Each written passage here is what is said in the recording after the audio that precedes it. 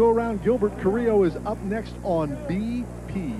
All right, buck off his first bull, a Dave Martin bull out of Pennsylvania.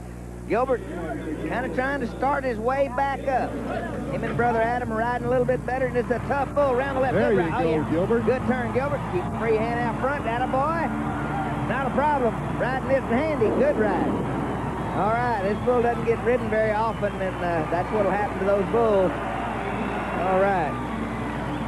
Good Gilbert score, and that'll, that's going to get him in the short go.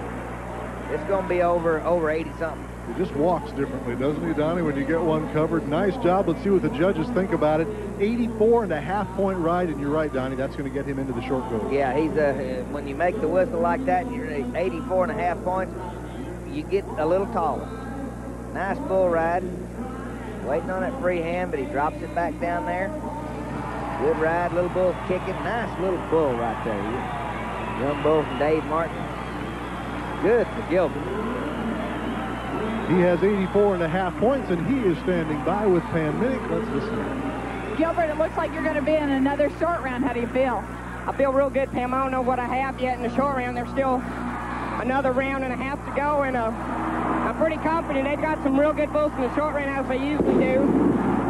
See, the crowd's going wild here. It's spectacular. I'm ready.